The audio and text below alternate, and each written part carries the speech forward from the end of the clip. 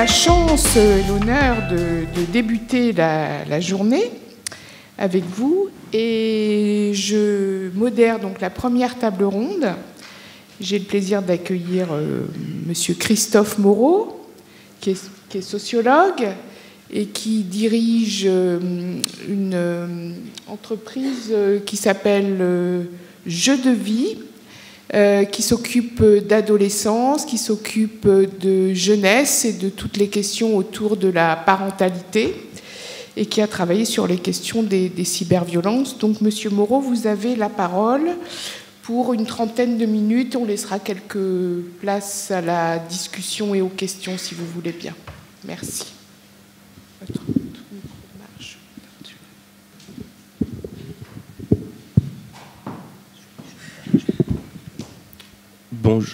Bonjour, vous m'entendez? Bonjour mesdames, bonjour messieurs. Merci beaucoup de votre accueil. Donc moi je dirige une équipe de recherche-développement. Donc on est une petite équipe de quatre euh, chercheurs en sociologie. On travaille dans la région rennaise et on travaille plus particulièrement sur les questions de protection de l'enfance, donc de prévention euh, de la maltraitance et de protection de l'enfance. Et nous travaillons aussi euh, sur de différents projets autour du climat scolaire. Hein. Donc on m'a chargé d'introduire euh, la journée, de dresser un petit panorama euh, des cyberviolences, euh, sachant qu'il y a beaucoup de chiffres dans le domaine. Je ne vais pas vous inonder de chiffres. Quand on ne prend pas trop un problème, on essaie de compter. Mais moi, je vais aussi aborder des questions de sens, essayer de comprendre dans quel contexte évoluent nos adolescents et les mineurs aujourd'hui et réfléchir un petit peu aux questions de parentalité. Donc euh, j'ai un chronomètre. J'ai prévu de parler en, trois temps. Déjà de définir euh, quelques, quelques mots autour de la violence euh, et puis des évolutions par rapport à la violence. alors moi je parlerai de la violence agie mais aussi de la violence subie par les mineurs. Hein. Ensuite, je parlerai un petit peu de l'environnement numérique, je vous présenterai quelques, quelques éléments de description, et puis je parlerai ensuite des questions d'éducation et de parentalité. Alors pour euh, introduire le sujet, déjà ce que je voudrais dire, c'est qu'en France, euh, j'introduis souvent euh, par cette entrée-là, les ados vont plutôt bien. Hein. Alors moi je suis plus spécialisé sur les ados que sur les enfants, mais il ne faut, pas noircir le tableau. Hein. On a une population d'enfants, d'adolescents qui va plutôt bien, donc c'est important de le souligner. On estime, disons selon les études, qu'il y a à peu près quand même 15% de ces adolescents qui sont fragiles, vulnérables. Hein, et parmi tous ces ados, on va dire autour de 5%, 10% qui sont dans un, dans un mal-être, 5% en grand mal-être. Alors ça, ce ne sont pas des chiffres euh, qui évoluent beaucoup, mais c'est vrai qu'on estime aujourd'hui que la part de ces adolescents en souffrance euh, euh, sont des ados qui sont dans des souffrances de plus en plus intenses et de plus en plus précoces. Hein. Alors, il y a les chiffres de l'aide sociale à l'enfance, c'est autour de 1 à 3 des mineurs euh, selon les départements. Ce sont des chiffres qui progressent légèrement. Hein. Euh, je parlerai tout à l'heure de la prévention. Donc, ce qu'il faut savoir, c'est qu'on a, je crois, en France, un budget en protection de l'enfance que je crois c'est autour de 8 milliards euh, d'euros. il y a 6 qui sont dédiés à la prévention. Hein. C'est-à-dire qu'en France, on vient réparer, prendre en charge Là, en l'occurrence, euh, il s'agit souvent d'enfants qui vont être confiés euh, au département, des assistants euh, familiaux, hein, pour 94%. Hein. on, agit en prévention à hauteur de 6% de ces budgets. Alors les mineurs donc reconnus coupables de délit, c'est 1% de, la cohorte, 1% de tous les mineurs. Hein. En pédopsychiatrie, on est sur des chiffres qui, bougent un petit peu, qui progressent légèrement, mais c'est autour de 2 à 3% hein. Ensuite, on a plein de chiffres noirs autour du suicide, autour des consommations de produits psychoactifs. Mais vous voyez, bon, moi j'estime qu'on a à peu près 5% de gamins qui sont en souffrance et en grande souffrance, 10-15% qui sont très fragiles. Et puis de l'autre côté, c'est le grand écart, 85% de gamins qui sont euh, en, pleine puissance. Quoi, hein. Donc il ne faut, pas oublier cela. Il ne s'agit pas de dresser un tableau euh, noir. Euh, par contre, ce qu'on voit dans, tous ces travaux épidémiologiques, c'est que d'abord, il y a des inégalités entre les territoires et qu'on a des concentrations de jeunes en difficulté, notamment dans les quartiers urbains, mais pas seulement. Et puis une autre constante, et moi je vais beaucoup insister là-dessus, en fait, c'est qu'on a une demande d'écoute et de relation à l'adulte qui est récurrente dans toutes les enquêtes. C'est-à-dire que les ados demandent des oreilles, demandent euh, des personnes de confiance, et ils n'en trouvent pas toujours. Hein. Là, on vient de faire des enquêtes sur le climat scolaire dans des établissements, dans des collèges. On a à peu près 30-35% des ados qui disent je n'ai pas confiance dans l'adulte. Vous voyez la petite capsule vidéo qui termine en disant bah, va avoir quelqu'un de confiance. Bon, aujourd'hui, on a, au niveau scolaire, par exemple, 30 à 35% sur 4000 collégiens, 30 à 35% de collégiens qui disent Moi, je n'ai pas confiance dans l'adulte. Donc, il y a une recherche d'oreilles, et ça, c'est quelque chose qui est très important. Et puis, un décalage de représentation entre les générations. -dire les adultes pensent que les ados ne vont pas bien, hein, et qu'ils ne veulent pas d'adultes et les ados vont plutôt bien, et ceux qui sont en souffrance euh, veulent aussi des adultes, mais n'en trouvent pas forcément. Alors on a beaucoup de, données hein, pour euh, introduire ce sujet-là. Euh, je pense aux, enquêtes donc sur les comportements de santé des enfants scolarisés. On a des comparaisons européennes, ce sont des données qui sont accessibles en ligne, vous verrez en parcourant ces données-là. Alors là, les derniers chiffres que j'ai, c'est 2014. On a des chiffres aussi de l'INSERM en 2015 sur les portraits d'adolescents donc euh, qui euh, corrobore ce que, je vous dis sur cet écart, ce grand écart entre la majeure partie des ados qui vont bien, puis ceux qui sont en grande souffrance. Alors, j'en viens au, harcèlement. On a quelques comparaisons euh, internationales. Là, ce sont, je ne parle pas encore du cyberharcèlement, je parle des brimades à l'école. On, hein, on, est sur des chiffres autour de 13-14% des enfants en France qui subissent euh, des brimades, des moqueries euh, à l'école, et c'est quelque chose d'assez euh, commun aux autres pays européens. Hein. Vous avez des chiffres comme l'Allemagne ou le Luxembourg, où on est à peu près dans les mêmes scores. Hein. On a des pays qui sont plus prévenants, je pense à la Suède notamment, où le chiffre est plus que divisé par deux. Hein. Alors, dans les enquêtes HBSC, euh, là, sur les comportements de santé des, enfants euh, scolarisés, on, a des données euh, plus précises sur le harcèlement. Donc, avant de parler du cyberharcèlement, ce qu'il faut retenir, c'est que c'est à l'école primaire qu'on subit le plus de violences à l'école. C'est autour de 5 à 15% des élèves. La violence pendant l'enfance est plus physique, et elle diminue progressivement. Quand on arrive en âge collège, on va dire on est à peu près à 10% de victimes de harcèlement, et ce harcèlement est plutôt lié à des humiliations et à des mises à l'écart. Donc ça concerne tous les milieux sociaux. Hein. Et puis ce qu'on voit aussi, c'est que, euh, euh, alors il y a pas mal de travaux, j'y reviendrai peut-être, qui parlent du triangle du harcèlement. Donc c'est une relation entre trois, trois types de populations les victimes, les harceleurs et les témoins. Et ceux qui jouent un grand rôle dans les situations de harcèlement, ce sont les témoins, ce que certains chercheurs appellent les normopathes, c'est-à-dire c'est parce qu'on a des témoins qui regardent qu'on va valoriser la relation harceleur-harcelé. Hein. Et ce qu'il faut comprendre, c'est que parmi ces harceleurs, on a des victimes de harcèlement. Enfin, il y a des passages entre victimes et auteurs de violence. Donc ces victimes, auteurs de violence, c'est autour de 10% des collégiens, pour faire simple. Alors quelques définitions parce que euh, il y a des choses assez précises à dire euh, sur le sujet. Donc en anglais, on parle de, bullying. Euh, c'est un, terme néerlandais. En fait, ce qui est très important dans le harcèlement, c'est la notion d'ambiguïté. Hein, donc, j'ai déjà apporté une notion, c'est la notion de témoin. Plus vous avez de témoins, plus ça va renforcer la relation de harcèlement. Et il y a une autre dimension qui est importante, c'est celle d'ambiguïté. Hein puisque euh, boule, ça veut dire euh, camarade, bien-aimé, fanfaron. Et donc, en fait, ce que disent souvent les ados euh, quand ils subissent ou ils agissent des violences, c'est ben, on s'amuse. Hein, et donc, dans le harcèlement, il y a cette ambiguïté. Je ne sais pas trop si je suis bien aimé, on s'intéresse à moi et on me met quelques coups, quelques moqueries, mais quelque part, ça me permet d'appartenir au groupe. Hein. Il, y a, cette forme d'ambiguïté. Il y a un autre mot qui est très important dans le harcèlement pour la victime, c'est le mot isolement. Je me sens tout seul, j'ai un prédateur, un harceleur qui va profiter de ma solitude et de ma différence. Hein, et quelque part, ça me permet d'exister aussi dans ma différence, de, me sentir euh, important et harcelé. Hein. Et puis il y a quelque chose, moi, sur lequel je vais, je vais revenir dans les définitions, c'est qu'en général, lorsqu'on parle de violence, dans la définition de la violence et dans la définition du harcèlement, on va parler d'intentionnalité. C'est-à-dire qu'on pense dans toutes les définitions que le harceleur a l'intention de nuire. Et moi, je reviens sur cette dimension-là, parce que je pense qu'aujourd'hui, les enfants et les adolescents font l'objet d'un déficit d'empathie et qu'on peut faire mal à autrui sans en avoir l'intention. Et je pense que ça, c'est un petit détail qui est important parce qu'on s'imagine que toute violence est liée à une intentionnalité. Et moi, je pense qu'aujourd'hui, il y a tellement un déficit d'empathie qu'on peut faire mal à autrui sans se rendre compte qu'on fait mal. Et, la notion d'intentionnalité, à mon avis, ne fait, plus partie, euh, ne fait pas partie euh, des violences qu'on va voir et du, du cyberharcèlement.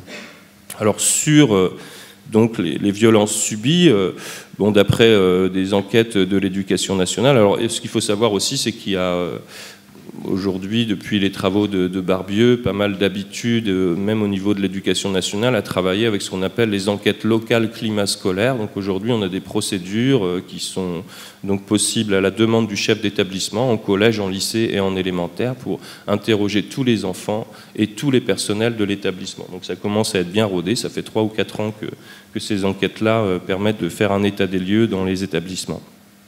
Donc on a à peu près, maintenant si je parle de la méchanceté en ligne, des agressions en ligne, c'est 40% euh, des gamins qui le déclarent. Hein, donc quatre fois plus que le harcèlement euh, scolaire classique. Hein, donc c'est soit des envois de textos, euh, soit des usurpations d'identité, et puis le plus courant, qui va aussi là, concerner à peu près 10% des, enfants, c'est l'exclusion, hein, la mise à l'écart. c'est c'est la pire des situations en fait pour euh, les adolescents en collège, c'est être exclu du groupe, ne pas, être, euh, ne pas appartenir au collectif. Alors, les premiers adultes à qui les enfants vont parler sont d'abord les parents, à 60%, hein, les enseignants et puis les copains. Donc ça veut dire qu'on a une partie des ados qui n'a pas forcément euh, de personnes de confiance à qui confier ces difficultés-là. Alors, on va parler plus du numérique, mais on va continuer à avancer euh, dans la violence. Alors, je vous conseille en même temps un petit ouvrage que je trouve euh, très intéressant, c'est celui euh, de deux psychologues belges, et ça s'appelle De la guerre des boutons à Harry Potter. Hein, et il y a quelque chose qui me paraît très intéressant dans cette évolution-là, c'est qu'on a complètement changé d'époque et changé d'espace-temps. Donc les violences ont toujours existé, et peut-être même qu'elles ont tendance à diminuer dans notre société, je vais y revenir, hein, mais par contre ce qui est euh, très différent, c'est qu'on a un engagement moins corporel, moins physique dans le réel.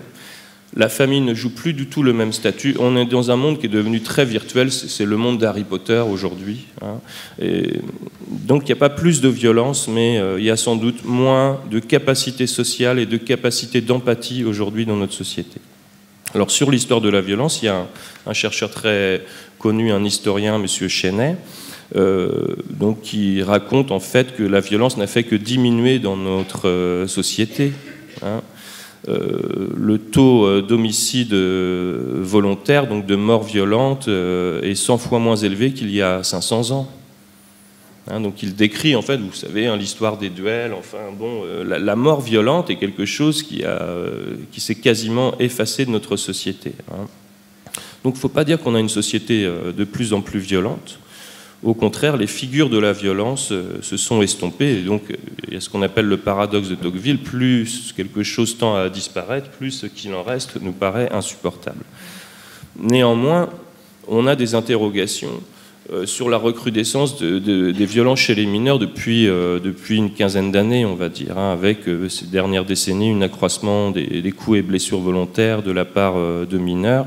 Alors Laurent Mucchielli travaille beaucoup sur ces chiffres-là, donc il faut faire attention, hein, il faut relativiser. On a vraiment une courbe de la violence qui, qui diminue de façon très importante dans notre société, et puis des soubresauts cette dernière décennie qui, qui interrogent donc euh, la part des mineurs euh, qui font l'objet de condamnation, c'est 0,8% euh, de la tranche d'âge. Hein. Et, c'est vrai qu'on a des situations d'atteinte à la dignité, d'atteinte à la personne humaine qui sont réelles chez une toute petite partie des mineurs.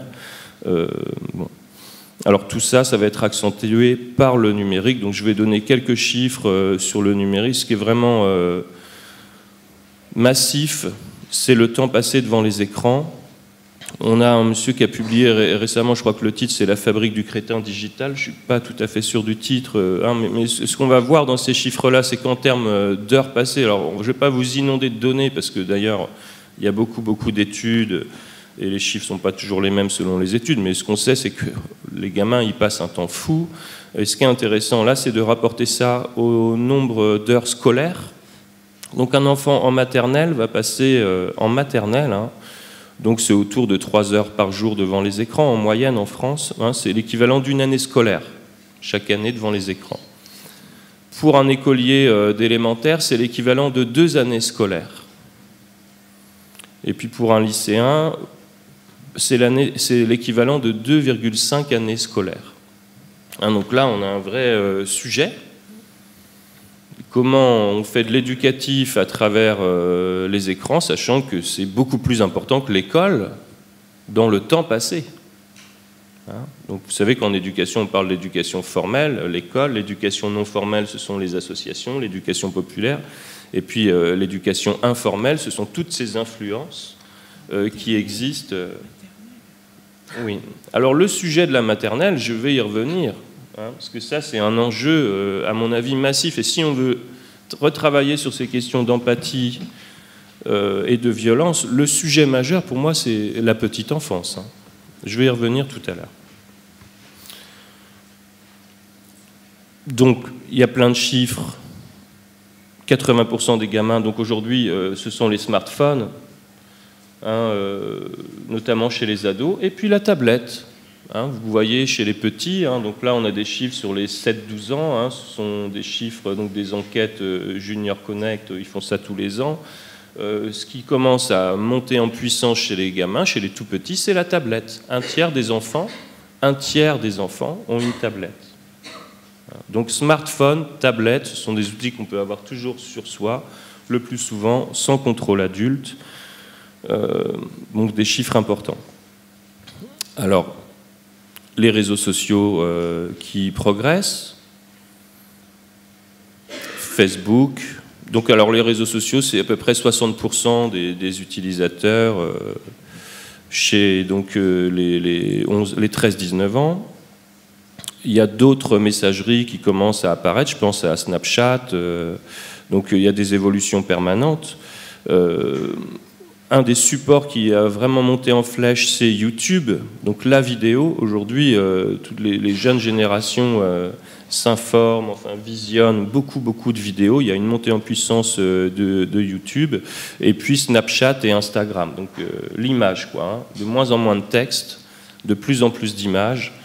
Euh, donc euh, une accessibilité euh, massive et des temps énormes, plus importants que le temps passé à l'éducation nationale. Alors maintenant, on va regarder. Alors moi, je ne suis pas spécialiste, mais je vais vous donner un petit panorama de ce qu'on va trouver sur le web, et puis après parler un petit peu plus de ce qui se passe dans la tête. Alors d'abord, sur le web, on va distinguer le web ouvert ce à quoi tout le monde peut accéder. Alors je pense d'abord à la publicité. Hein. Vous savez qu'on a détricoté la loi Eva. En France, on est très fort parce qu'on a beaucoup de scientifiques, on a beaucoup de conclusions, on sait à peu près tout ce qu'il faudrait faire. Et puis à côté, on a les politiques qui prennent des décisions euh, qui peuvent être complètement à l'opposé euh, des conclusions des chercheurs. Je pense à l'alcool, hein. vous connaissez peut-être la loi E20, dans les années 90, on avait dit, bah oui, parce que c'est avéré que la publicité sur l'alcool pousse à la consommation euh, des jeunes, donc il fallait éradiquer la publicité sur l'alcool. Et puis petit à petit, d'aménagement en aménagement, on retrouve aujourd'hui, donc un budget en France, c'est 3 à 400 millions d'euros de publicité sur l'alcool, donc ça, ça inonde évidemment les réseaux sociaux. Alors, autre chose qu'on va trouver, ce sont évidemment euh, les réseaux sociaux. Alors là, vous voyez, avec la petite particularité que les parents s'y sont mis aussi, on a aujourd'hui 40% des, mineurs qui disent euh, ben, que les parents les exposent trop sur Internet.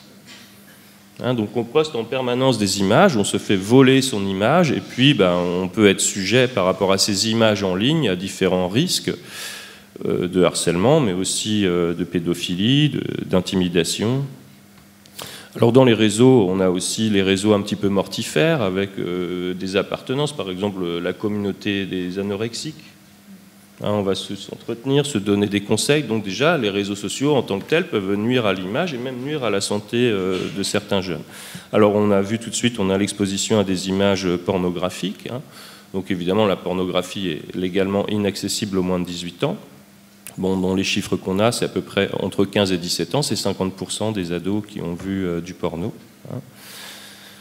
La première fois, c'est autour de 14 ans et demi. Et 45% de ceux qui sont sexuellement actifs entre 15 et 17 ans, donc 45% tentent de reproduire des scènes euh, vues euh, sur les images pornographiques. Alors ça, ce sont donc euh, des images un peu standards que tout le monde peut voir, parfois assez tôt dans sa vie. Après, il y a la question des petites annonces. Hein, donc euh, on verra aujourd'hui, il y aura des chiffres peut-être euh, plus précis sur euh, la prostitution en ligne, hein, mais je sais que les enquêtes ont été multipliées par 4 ces dernières, par 6 pardon, ces 4 dernières années. Hein, donc on a eu des vrais soucis avec des réseaux, comment simplement d'annonces en ligne, donc qui ont généré de la pornographie. On a aussi le système des cam modèles, donc on peut gagner de l'argent en s'exposant avec une webcam. Alors tout ça sont des choses accessibles à tous, encore une fois. D'autres choses accessibles à tous, ce sont les défis. Alors nous, on avait eu un jeune qui est décédé il y a deux ou trois ans en Bretagne parce que euh, c'était le défi de à l'eau ou au resto. Donc il fallait que chacun contacte trois amis et puis ces trois amis devaient se mettre à l'eau en se filmant, sinon euh, ils devaient payer le resto euh, à l'instigateur du défi. Et il y en a un qui a eu l'idée de se mettre à l'eau avec son vélo attaché à sa cheville. Voyez, donc il est décédé. Donc c'est un défi parmi beaucoup d'autres. Il y a eu aussi la mode de la baleine bleue, la blue whale, hein, qui nous vient de Russie où là, on devait faire un défi chaque jour pendant 50 jours, le dernier défi étant euh, l'acte suicidaire. Alors il y a eu quelques cas en France où on a douté, mais il a été avéré que ce n'était pas forcément lié à la Blue Whale, mais on a en tout cas eu des cas de suicide dans le monde qui étaient liés à ce type euh, de défi. Hein, sachant que pour l'adolescent, la question c'est l'identité, comment je me mets en avant. Hein, et aujourd'hui, c'est plus euh, la guerre des boutons où je suis dans l'agir physique avec autrui, je me mets en avant euh, bah, à partir d'images numériques et de défis numériques. Et puis, dernière chose sur le web euh, ouvert à tous, bah, c'est la désinformation et l'endoctrinement. Hein. Donc les théories du complot, les fake news, c'est assez nouveau ça. Hein. Vous savez qu'on a déjà vu ça dans l'histoire, c'est ce qu'on appelle euh, le sophisme, hein. c'était le déclin de la civilisation grecque où euh, euh, l'homme devenait la mesure de toute chose. C'est ce que disait l'homme qui était la vérité, c'est le protagoras chez Platon. Donc au moment où on commence à raconter des histoires et à ne plus être proche de la vérité, c'était le déclin de la civilisation grecque. Alors nous, on a les fake news et puis euh, la radicalisation aussi. Alors j'ai retenu simplement quelques chiffres hein, sur euh, les personnes inscrites au fichier hein, sur le, la, prévention de la radicalisation. Il y a 3% de mineurs simplement. Mais ça veut dire quand même 3% de mineurs sur à peu près 21 000 personnes qui sont fichées. Alors ça, ce que je vous dis là, ce sont les choses qu'on peut tous voir. Après, dans le web, il y a deux autres étages. Donc il y a ce qu'on appelle le web profond. Alors là, j'ai appris ça. Hein. Vous avez le navigateur Tor que vous pouvez installer en à peu près 3 minutes, d'après ce qu'on m'a expliqué, hein, 3 minutes. Vous pouvez installer ça sur votre ordinateur et là vous rentrez dans un autre type web. Alors le deep web, c'est tout ce qui est caché, mais accessible, mais pas par les moteurs de recherche en direct. Donc par exemple, vos comptes en ligne, euh, les bases de données, vos espaces privés euh, sur votre assurance, même sur votre page préférée de Facebook, vous avez des choses que vous gardez pour vous. C'est tout ça le, le web profond. Hein. Donc vous avez des gamins qui, pour ne pas être pistés par les adultes, ne pas être pistés par les parents, vont aller développer. Et puis aussi pour mettre euh, des photos euh, de la petite copine nue, ben, ça ne ça va pas passer sur Facebook. Donc on va trouver d'autres systèmes pour être cachés. Hein. donc ça prend euh, quelques minutes d'installation. Et c'est l'idée qu'on a plusieurs couches superposées dans le web. Il y a tout ce qui est visible et puis il y a d'autres couches qui sont invisibles. Hein, et puis c'est au fond de ce deep web et avec ce navigateur euh, invisible. Hein, donc l'objectif c'est la liberté. Hein.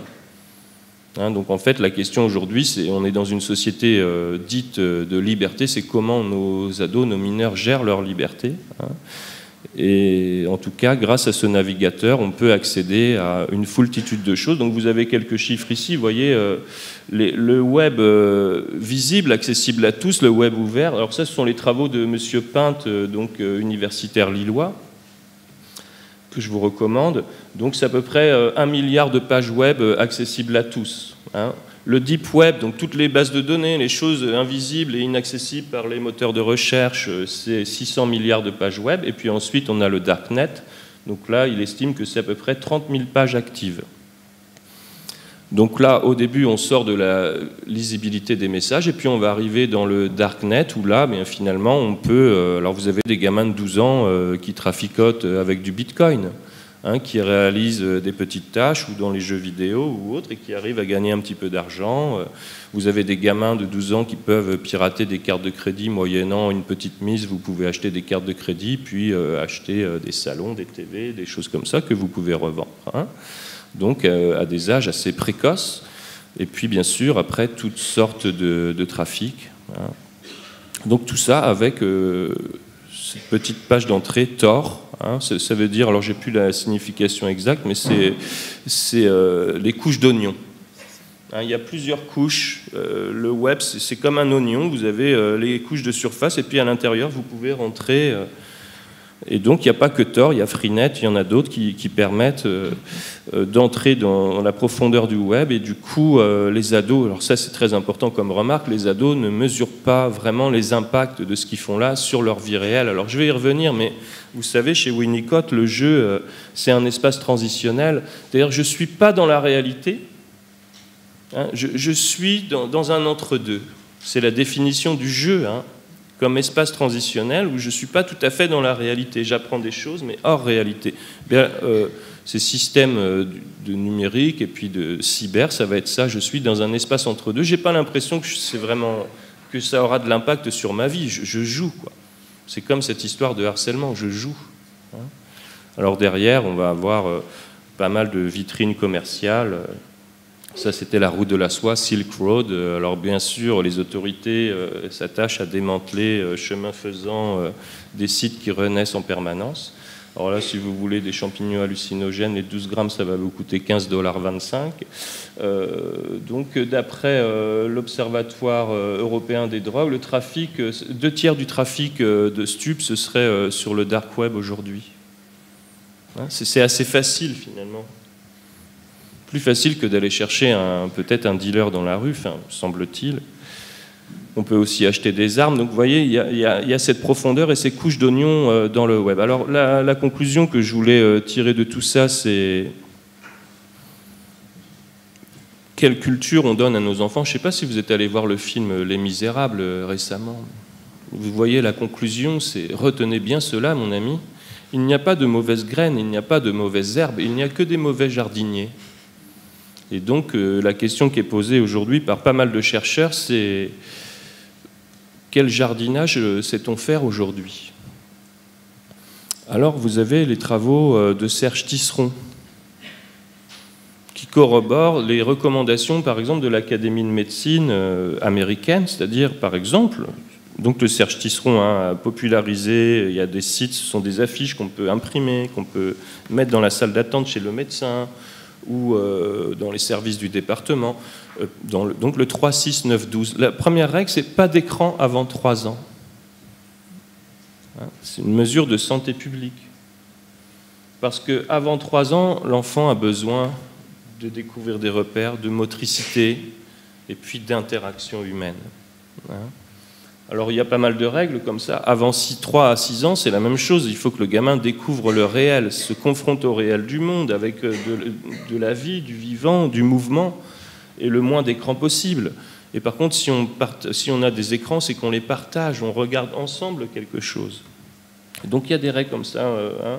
6-9 euh, hein. ans, ben, on va commencer à lui expliquer les règles du jeu. Euh, on va commencer à créer des choses avec les écrans. 9-12 ans, on va lui apprendre à utiliser, euh, toujours accompagné, et puis à se protéger. Et puis après 12 ans, il va s'affranchir, on, reste vigilant. Donc vous avez plein de recommandations comme ça. Hein. Je ne développe pas, euh, c'est très intéressant, la règle des 3, 6, 9, 12. Vous vous rendez compte, pas d'écran avant 3 ans. On va revoir ce que ça produit. Mais d'abord, ce qui est souvent mis en avant, c'est le déficit de langage mais moi je dirais le déficit de relations sociales et d'empathie. Alors d'autres recommandations, c'est euh, par rapport aux jeux vidéo. Moi j'ai des neveux, hein, comme tout le monde, j'ai des enfants aussi, pas comme tout le monde, mais enfin comme une grande partie de la population. Eh bien mon neveu à 10-12 ans, il va jouer à des jeux interdits au moins de 18 ans. Quoi. Et alors le summum, c'est que le parent généralement est fier. Fier de voir son enfant utiliser... Euh, et puis cette euh, agilité de nos enfants à utiliser ces choses-là, ça rend souvent les parents très fiers. Alors il y a un chercheur qui est intéressant, je vais terminer euh, d'ici pas longtemps, c'est Bernard Stiegler, qui parle, alors je, vais vous passer tous les éléments théoriques, mais qui parle de psychopouvoir. Hein pour dire, vous savez, euh, il reprend les travaux de Foucault à une époque euh, où il disait ben, les institutions totalitaires vont avoir tendance à euh, canaliser nos corps hein, et nos consciences. Eh bien pour Stigler, cette société ultralibérale canalise notre vie émotionnelle, ce qu'il appelle le psychopouvoir. Il développe cette idée de l'enfant prescripteur. C'est-à-dire, c'est plus vous qui pilotez votre enfant, hein, mais c'est l'enfant qui décide ce qu'il va acheter comme jeu, par exemple. Hein, donc toute la question de quel type de jardinier nous sommes, ça voudrait dire que c'est à nous de prescrire les biens de consommation que nos enfants vont consommer et essayer d'inverser cette tendance à avoir euh, l'enfant prescripteur. Et puis un autre mot qui nous vient de Yves Citon, mais il y a pas mal de gens qui travaillent sur ce sujet-là, c'est le mot de l'économie de l'attention. C'est-à-dire qu'en en fait, on a de moins en moins de disponibilité psychique par rapport à nos enfants, et il est temps qu'on s'intéresse à cette écologie de l'attention, c'est-à-dire à quel temps et quelle euh, transmission psychique nous offrons à nos enfants. Parce qu'on est face à un assèchement. Parce qu'au lieu d'interagir avec nos enfants, tendanciellement, même si je vous dis euh, en matière de santé, euh, ça va plutôt bien pour les ados d'aujourd'hui, hein, on ne sait pas pour demain, mais vous voyez, tendanciellement, on est en train de faire un, désert culturel pour nos enfants parce qu'on leur met des tablettes entre les mains et donc, euh, ça crée en fait un déficit de langage. Et moi, je vais beaucoup plus loin parce que pour moi, ça crée un déficit euh, d'émotion. Alors, j'essaie de terminer pour pas trop vous embêter, mais voilà, par exemple, les choses qu'on va travailler avec les parents.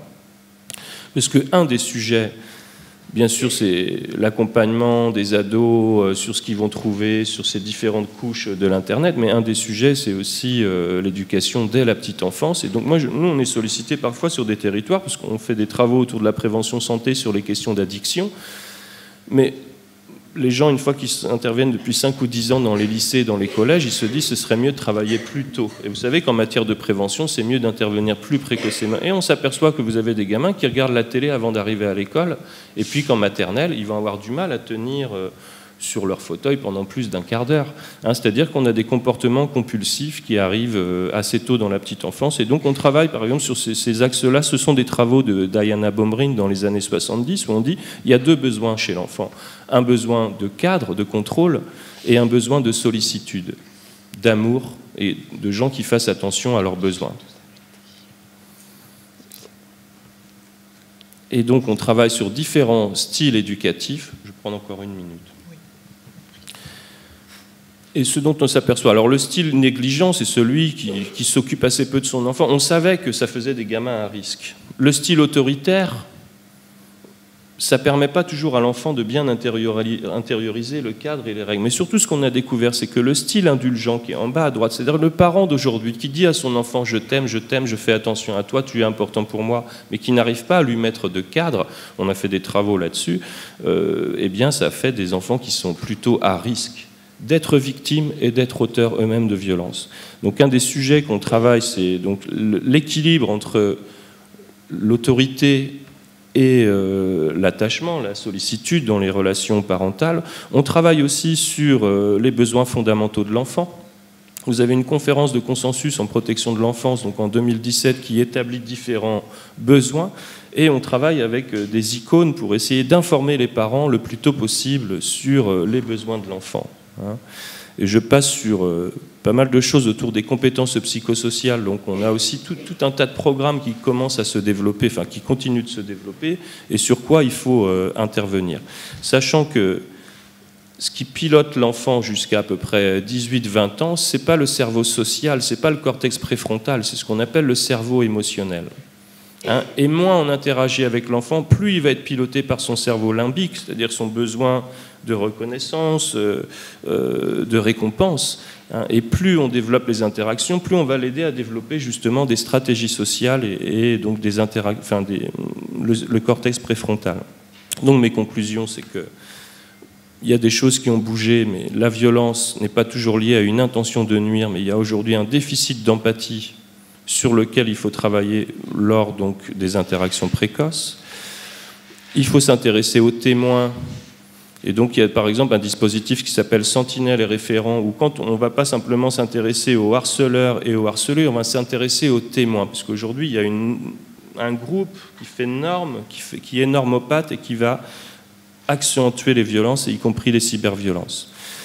L'Internet, c'est un espace qui est un petit peu coupé du réel et les gamins euh, n'ont plus d'esprit critique parce qu'ils sont dans un monde un petit peu comme un jeu. Donc le travail sur l'esprit critique, c'est un, enjeu très important dans notre système éducatif.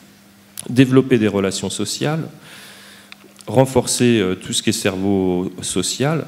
Et donc pour moi, les, sujets vraiment euh, d'actualité par rapport à cette question qui est très Internet, très technique, c'est ne pas être trop sur la technique, mais vraiment investir dans l'humain, donc sur les compétences psychosociales, sur les programmes de soutien à la parentalité où on travaille sur les besoins de l'enfant. Il y a des outils en disant votre gamin, il aura un retard de langage, mais il aura aussi un retard euh, émotionnel et social. Hein. Et puis, euh, donc, euh, renforcer la présence des adultes auprès des enfants, parce que quand vous voyez les chiffres, on est deux fois et demi plus devant son écran tout seul qu'avec des adultes qui nous éduquent. Donc, voilà un petit peu ce que je voulais partager avec vous pour introduire la journée.